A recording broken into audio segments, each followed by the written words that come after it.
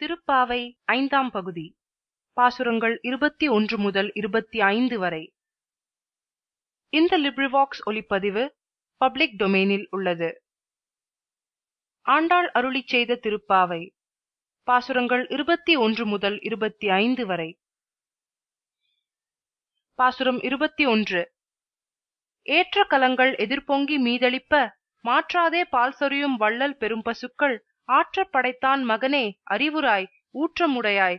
பெரியாய் உலகினில் தோற்றமாய் நின்ற சுடரே துயிலெழாய். மாற்றாருனக்கு வலி தொலைந்துன் வாசற்கண் ஆற்றா வந்துன் அடிபணியும் மாபோலே போற்றியாம் வந்தோம் புகழ்ந்தேலோ ரெம்பாவாய் பாசுரம் இருபத்தி இரண்டு அங்கண்மா ஞாலத் தரசர் அபிமான பங்கமாய் வந்து பள்ளிக்கட்டிற்கீழே சங்கமிருப்பார் போல் வந்து தலை பெய்தோம். கிங்கிணிவாய் செய்த தாமரை பூ போலே செங்கண் சிறுசிறிதே எம்மேல் விழியாவோ? திங்களும் ஆதித்யனும் எழுந்தாற்போல் அங்கனிரண்டும் கொண்டெங்கள் மேல் நோக்குதியேல் எங்கள் மேல் சாபம் இழிந்தேலோர் எம்பாவாய்.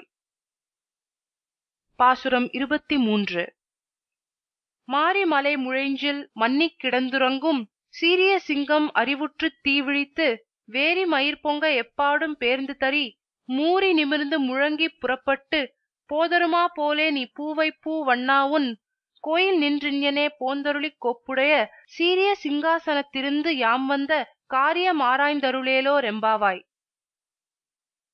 பாசுரம் இருபத்தி நான்கு.